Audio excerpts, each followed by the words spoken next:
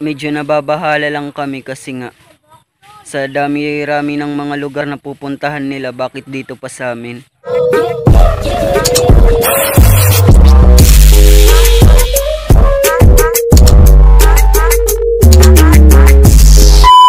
Hello! What's up mga kolokoy? Welcome back to my YouTube channel. This is your Kuya Leo.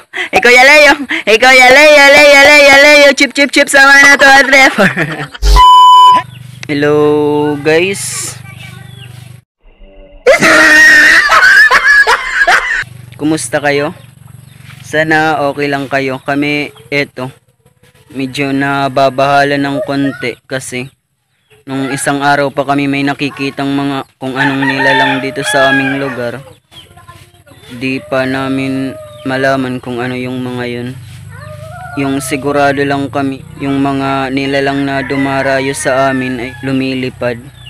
Hindi namin alam, siguro hindi siya aswang, hindi rin siya manananggal. Kasi yung balahibo niya medyo makapal. Yung natira na lang po dito na pinangahawakan naming ebidensya is yung mga balahibo na lang.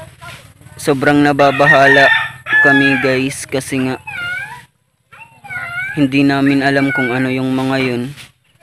Actually guys, ngayon lang nangyari tong ganito. Hindi ko alam kung anong uri ng mga nilalang yung dumayo sa amin. Pero may hula kami na mababain itong mga nilalang na lumilipad. Medyo nababahala lang kami kasi nga sa dami-rami ng mga lugar na pupuntahan nila, bakit dito pa sa amin? At guys, sana wag kayong mabibigla. Ah, may mga nakita po kasi kaming mga balahibo nila na natira dito nung dumating sila. Mga balahibo kasing nalaglag na galing sa mga lumilipad na nilalang na yun. Ito po yung guys, ipapakita ko po sa inyo. Hula po namin guys yung pumunta dito, mga mulawin. Mga mulawin. Kasi po, yung mga balahibo nila kung makikita nyo doon sa palabas parang katulad na katulad ng mga mulawin yung mga balahibong nandito eh. Papakita ko po sa inyo guys. Ito po.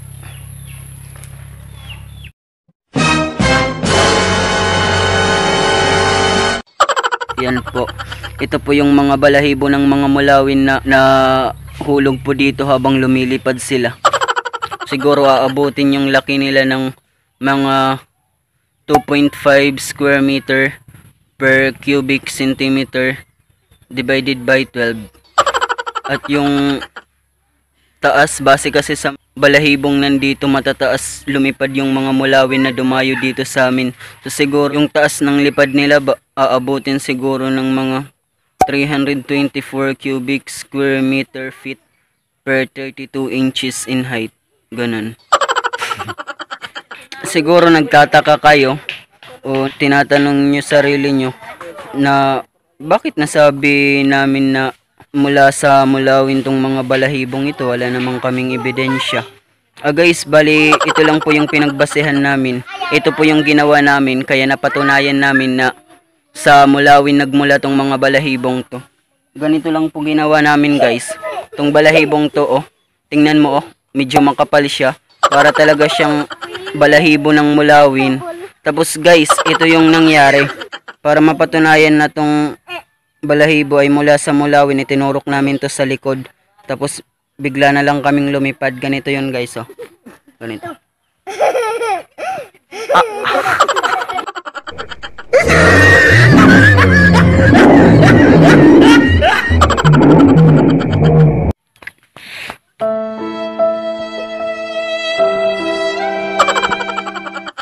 guys, hindi ko alam kung anong nangyari sa mga mulawin, no? Hindi natin alam kung anong tunay na nangyari sa tribo ng mga mulawin. Siguro, sinugod sila ng mga hator ng Encantadia. Ewan ko din kung bakit. Ang gusto namin is makausap kahit man lang isa sa mga mulawin, makausap namin kung ano ba talagang nangyari. Kasi, oh, kawawa naman sila, nahulugan pa sila ng balahibo. Ah guys, sobrang dami na po ng mga balahibo ng mga mulawin yung nakuha ko. Ito po, nagkalat na po silang lahat. So siguro aabot na to ng ano, mga Isang libot, isang tuwa na. Isang libot, isang tuwa. Isang libot, isang tuwa.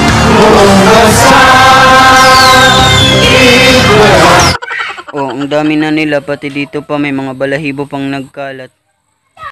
Kailangan lang natin silang ipunin guys kasi kapag may dumaan muling mulawin dito, papara po tayo. Sabi natin, para, para mulawin, para sasakay. Hindi, ano, itong mga naipon nating balahibo guys, ibabalik natin to sa mga mulawin. Kawawa naman, kulang na sila ng isang balahibo. Guys, nakikita nyo ba yung nasa likod ko? Yang umuusok na yan.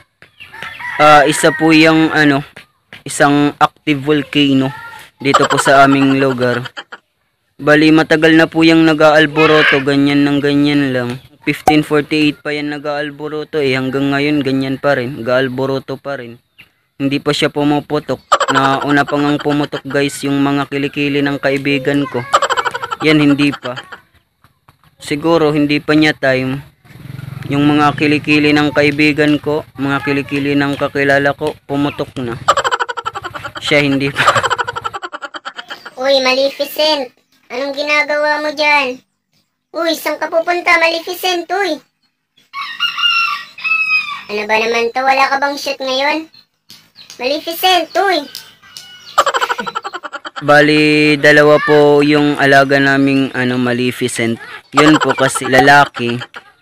Tinawag po namin siyang Maleficent. Yung babae naman po, tinawag po naming Fee Maleficent. Ganon.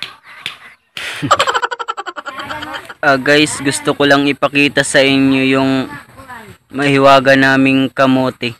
Guys, itong kamote hindi po ito basta-bastang kamote lang. Hindi po ito ordinaryong kamote lang. Kasi ito pong kamote namin, ito po.